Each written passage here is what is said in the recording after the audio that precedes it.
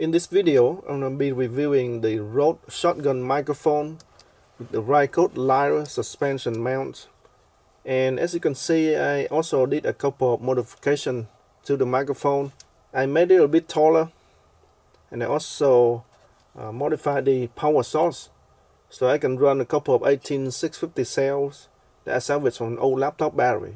So let's first take a look at the microphone itself and let's ignore this part here and this part here where I modified the microphone I'm gonna explain in detail how I did this. But uh, for now let's take a look at the microphone. Uh, we got a suspension mount here so that it can absorb some shocks when you're moving around. We got the three and a half millimeter jack here.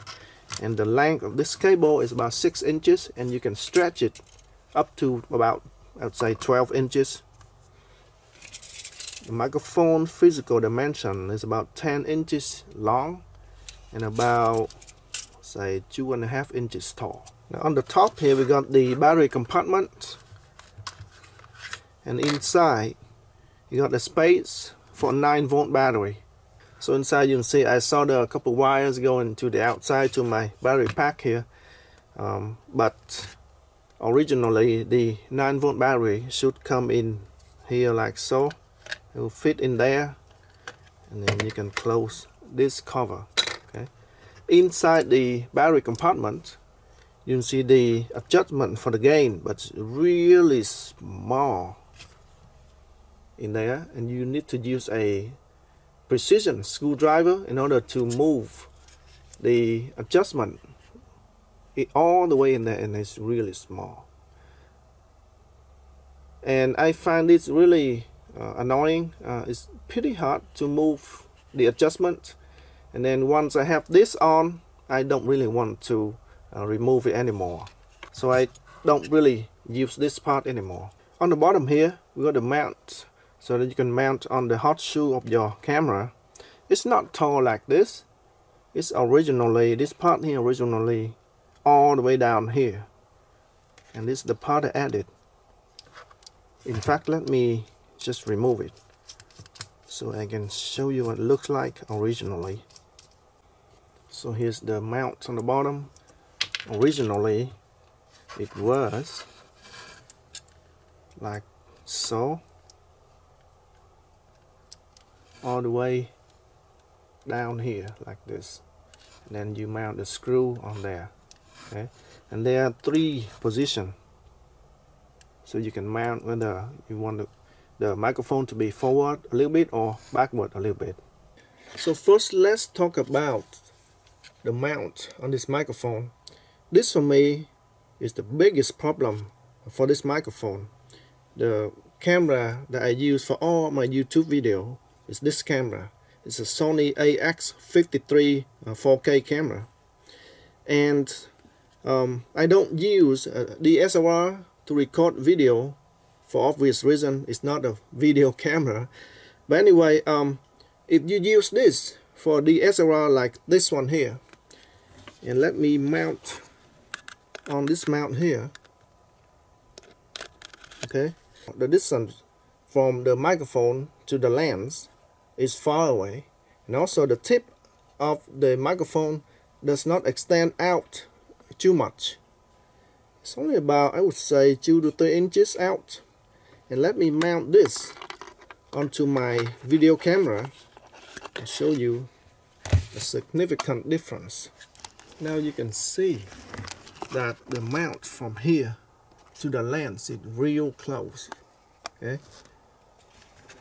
This camera has a gap between this part here on the top down to the lens right? I would say about at least one and a half inches this one here is right on the top of the lens see that almost level with the top of the lens so it's real close also the tip of the microphone extend out about let's say five inches a good five inches out so why is that important? You can see that there's a the tip of the microphone showing up on the video right there. See the black spot right there? It's showing on the video. And if I move the camera around you can see it it comes down quite a bit more. See that black spot? That's not acceptable. See because it extends too much out and it's too low down. So it shows up on the video. So that's why in order for the tip of the microphone not to show up on my video I have to brace this part here a little bit higher so that this tip here doesn't show up in my lens. So another problem with this mount is that my on my camcorder the zoom is all the way in there right? That's the zoom right there. And in order for me to use the zoom I have to push on my finger all the way in there because right now it's really tight this part here is blocking the way it's on the way so I can't even push my finger in there so I can use my zoom so let me show you what I did to extend this part here a little bit taller. I use a piece of plastic uh, drywall screw mount. This is just like this, but uh, it's cylindrical and it's thicker. And I just cut it to, I think this is about two centimeter long. And I use a longer screw too, because now you need a longer screw to mount on here. The original screw is about that long.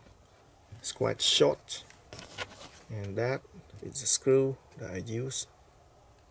It's a lot longer. And it's about 3 centimeter long.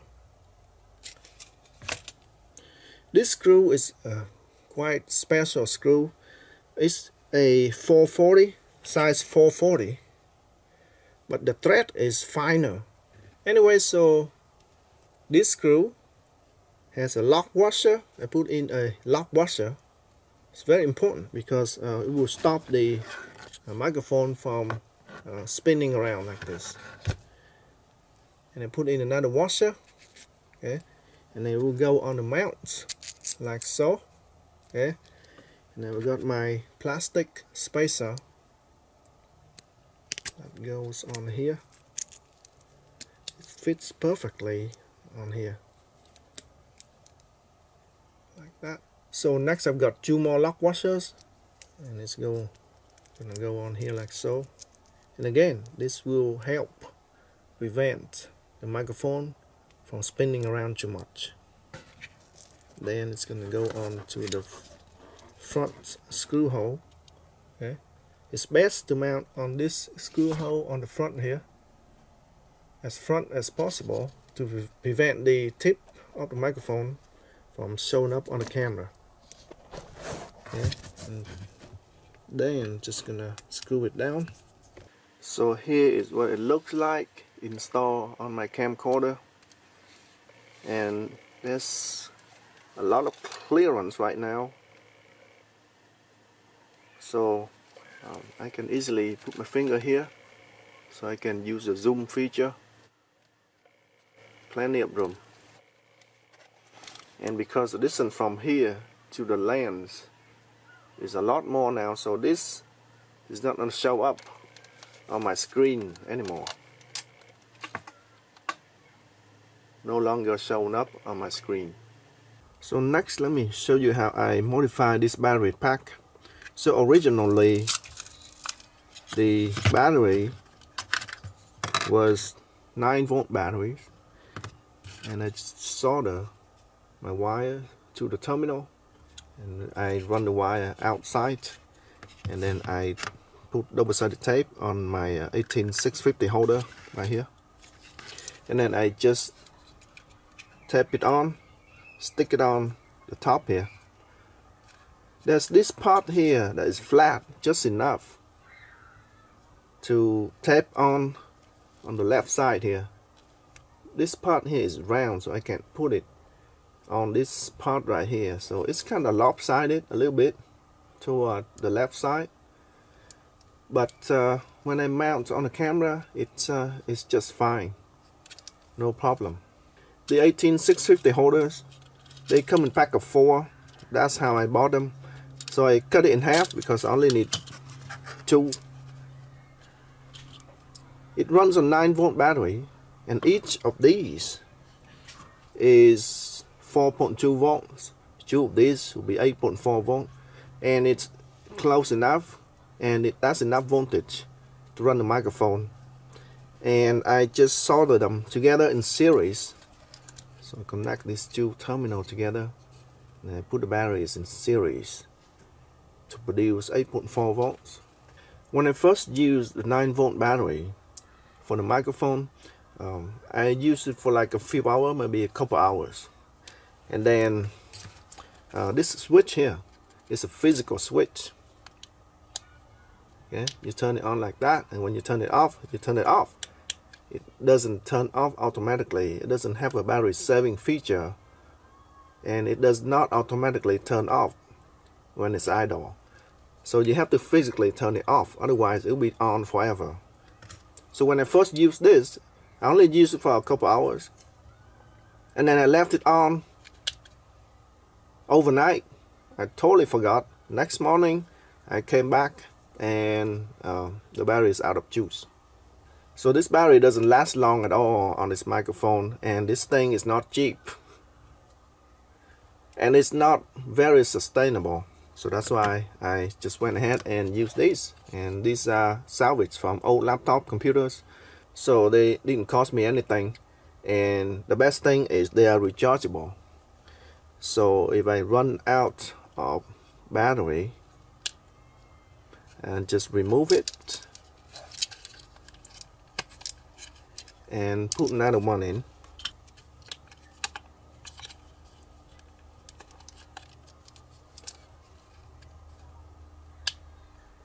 and because I have unlimited supplies of these almost unlimited and they're also rechargeable so I can basically run this microphone for an unlimited amount of time and doesn't even cost me a penny. Not like this one here. So how long does it last on these two 18650 cells?